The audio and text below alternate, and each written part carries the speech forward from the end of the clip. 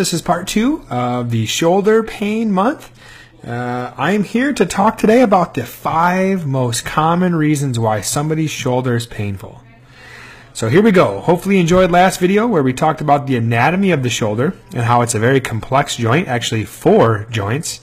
The shoulder blade, the humerus, the clavicle, Uh, and the sternum. All of those are going to be involved with the shoulder. So the number one most common reason why somebody has shoulder pain is a condition called the rotator cuff impingement. To review, the rotator cuff is four muscles. One here, here, here, and here. And impingement means that the muscle and the tendon are being compressed. And the most common one, 75% of the time, it's this muscle right here, the supraspinatus.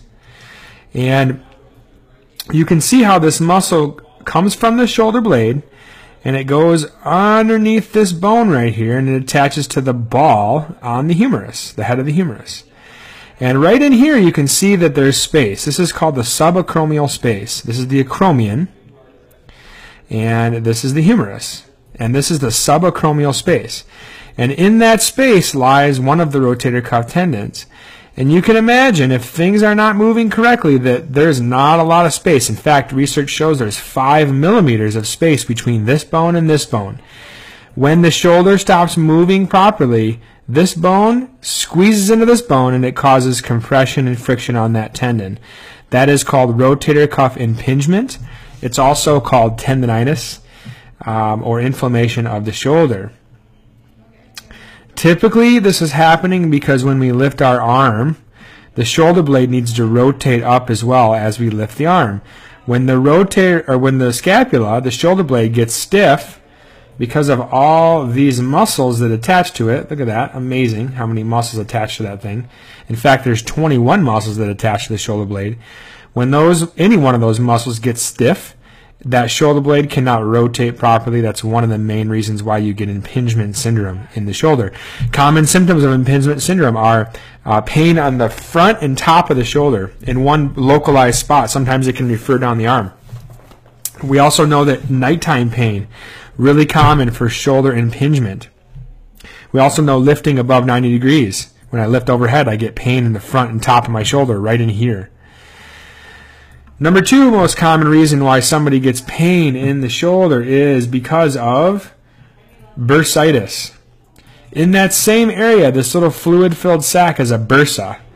This right here is called the subacromial bursa. That bursa is designed to provide lubrication for that muscle. This muscle right here, see how it goes across? It provides lubrication between the muscle and the bone on the top when friction starts to occur, before the tendon and muscle get irritated, the bursa starts to get irritated and it can get swollen and inflamed. So bursitis is very similar to rotator cuff impingement. Number three is a rotator cuff tear. A rotator cuff tear is a tear in the muscle of any one of these four muscles in the shoulder. You typically will see two types of tears. One is a full thickness tear where the muscle completely tears. A partial thickness tear is like small little, like a, like a 10% tear. People with partial thickness tears, which are the ones that can actually still move their arm, those people can do really well healing, scarring down, and avoiding surgery. The number four most common reason why a shoulder is painful is because, is because of a labral tear. A labral tear, let's see if we can find the. It's not going to show it here, but a labrum tear in the socket right here, the articular surface of the glenoid cavity, there's a ring on the outside that's kind of like a ligament, uh, very similar to a meniscus in a knee, and it just creates a deeper socket, um, and that can tear. That little ligament cartilage material can tear around this, not shown in the picture here, but it can tear, and then that cartilage flops down in the joint. Typically, the symptoms of that are pain with clicking and popping. And also, usually there was an event, uh, some sort of event. Like I threw a baseball and I heard a pop and a click and now it hurts. Or I fell on an arm.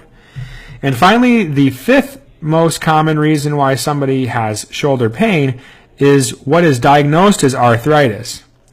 we'll have arthritis on these two surfaces. And sometimes, again, you'll hear the terminology bone on bone. And the reality of the situation is 80% of people over the age of 60 have arthritis in their joints. Arthritis does not equal pain. And when they say bone on bone, that's impossible if your shoulder still moves. The shoulder is a joint where there's two bones that come together to create a space, and that space is designed for movement. If you can still move your shoulder, you don't have bone on bone. And arthritis is probably not the problem. Now, arthritis is most likely present in your shoulder if you're over the age of 50, but that is not a reason. Now, if I have decreased joint space, that can be a reason, but guess what? You can increase that joint space through better movement, stretching, mobilization of the joint. So hopefully that helps you. In the third and final video tomorrow, I will be showing you my top three strategies to get your shoulder moving better and to be pain-free. Thanks for listening.